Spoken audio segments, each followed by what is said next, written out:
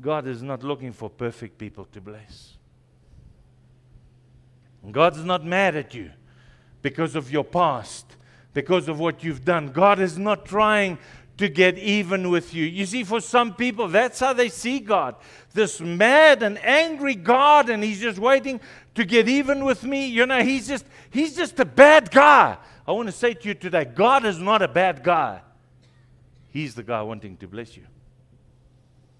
That's the thing, that's the truth that I want you to, to leave this building with today. If you don't hear anything else, you walk out of this place, and deep down on the inside, you've just got such a sense that, that, that God is for you and God, God wants to bless you.